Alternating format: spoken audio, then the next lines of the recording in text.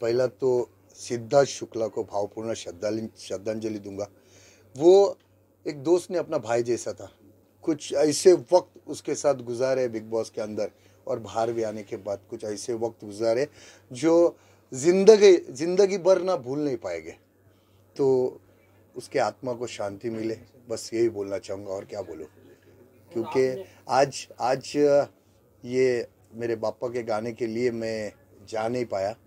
और कल मैं वहाँ पे ही था हॉस्पिटल में ही था उनके घर पे भी था। तो बस उनके परिवार को ऊपर वाला ये करे। उसकी मम्मी से कुछ बात हो पाई तो कुछ किस तरह बात है किस तरह आपने बातचीत किया तो मीडिया की तरफ़ कुछ मैसेज देना हाँ मैंने उनके माँ से बात किया कल जाके घर पे। तो मैंने पूछा कि ये अचानक में ऐसा कैसा हो गया? तो बोले कि वो सब ठीक है खाना पीना खा के सो गया था।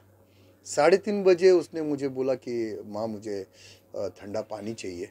मुझे बेचैनी सी हो रही है।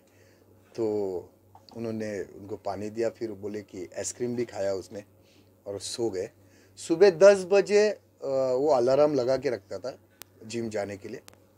तो सुबह अलार्म बजने के बावजूद भी वो नहीं उठा। तो उनके माँ ने जाके देखा तो जो भी हुआ गलत हुआ। भाऊ ये चलते चलते